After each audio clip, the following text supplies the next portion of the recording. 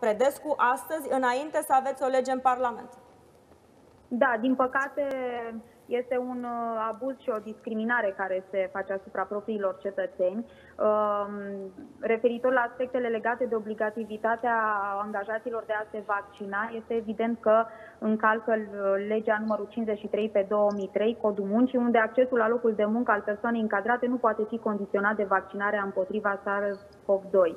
Um, Dar este, poate fi condiționat păcate... de test. Care este varianta dumneavoastră și o să vă întreb pe toți invitații. Poate fi condiționat de existența unui test și dacă da, el trebuie să fie pe cheltuiala uh, nevaccinatului sau pe cheltuiala statului. Sunt oameni de drept, la auzeam aseară la uh, seriile trecute la exces de putere pe Victor Alistar, spunând că aceasta ar fi singura condiție legală și constituțională dacă statul oferă gratuit vaccinul, să ofere gratuit și testul. Care e punctul dumneavoastră de vedere, doamna Predescu? Corect, corect. Tocmai pentru a evita situațiile de discriminare între persoanele vaccinate și cele nevaccinate, Parlamentul European a prevăzut ca certificatul verde să fie acordat și persoanelor, persoanelor care au test negativ, iar această acordare să se realizeze în baza gratuității testului negativ. Câtă vreme la noi certificatul verde se obține exclusiv în baza uh, vaccinării și în baza trecerii prin boală, este evidentă discriminarea pe care